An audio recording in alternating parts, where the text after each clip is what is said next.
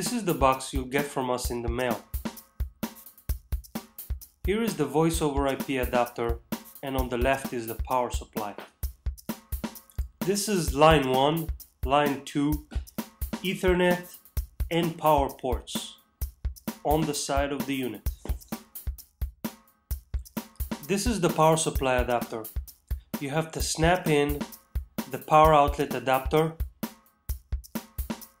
and now you're ready to plug it into the wall.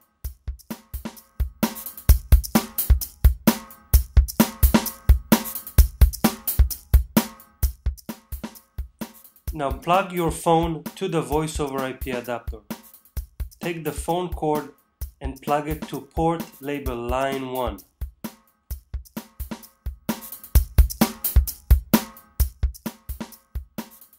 Now take the blue cable supplied in the box and plug it to the blue port labeled Internet. And plug in the power cable. Now take the other end of the blue cable you just plugged in to the voice over IP adapter and plug it to the back of your router.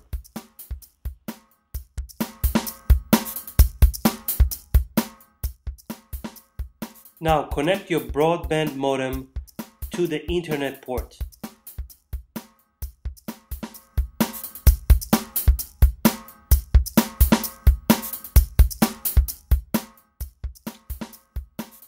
Now take the cable from your broadband modem and plug it to the back of the router to the port label Ethernet.